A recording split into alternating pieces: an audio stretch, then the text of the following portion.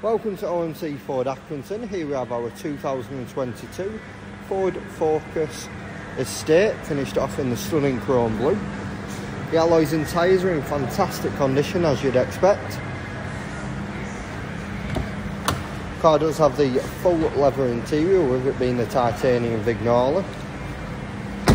It also has the rear privacy glass. Front and rear parking sensors.